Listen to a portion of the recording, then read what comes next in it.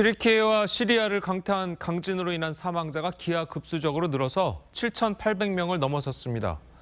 이 부상자도 3만 5천 명을 넘으면서 피해도 눈덩이처럼 커지고 있는데요. 이 국제사회는 발벗고 지원에 나섰습니다. 우리 정부도 단일 규모로는 역대 최대인 118명의 긴급 구호대를 튀르키예 현지에 급파했습니다. 정은혜 기자입니다. 대형 굴삭기가 산산조각난 건물 잔해를 들어올립니다. 콘크리트를 절단하자 소년이 모습을 드러냅니다.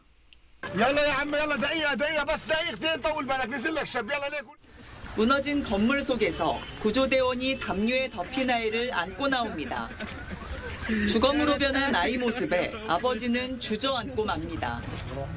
한 명이라도 더 살려내기 위한 사투는 밤새 이어졌습니다.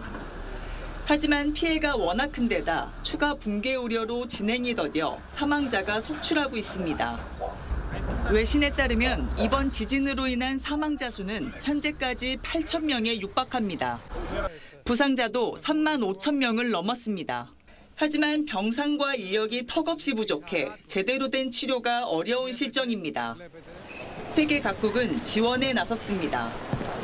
우리 정부는 단일 규모로는 역대 최대인 118명으로 구성된 긴급구호대를 튀르키예 현지에 급파했고 미국과 유럽 각국 등의 구호 지원 약속도 쇄도하고 있습니다.